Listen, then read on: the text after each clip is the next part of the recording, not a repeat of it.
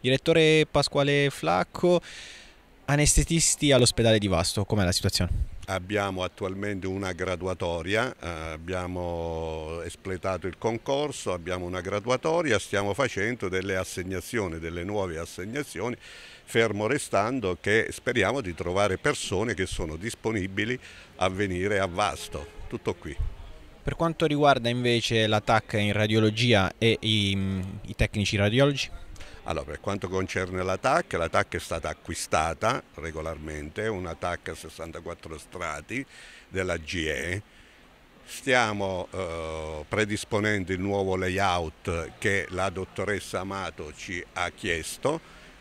Proprio lunedì è venuto l'ingegner Manci con l'ingegnere che è incaricato di eh, redigere nuova, eh, il nuovo layout appena ci rimettono questo progetto lo approviamo e andiamo avanti con eh, i lavori, tutto qua.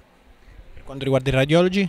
Per quanto concerne i radiologi abbiamo un concorso in atto, la dottoressa Amato è il presidente del concorso, non appena i tempi tecnici lo permettono si espleterà il concorso, avremo una graduatoria a disposizione e prenderemo tutti i radiologi di cui eh, l'ospedale di Vasto ha bisogno.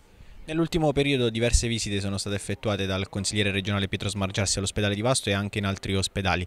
Ecco, um, ha evidenziato delle situazioni critiche, lei cosa risponde?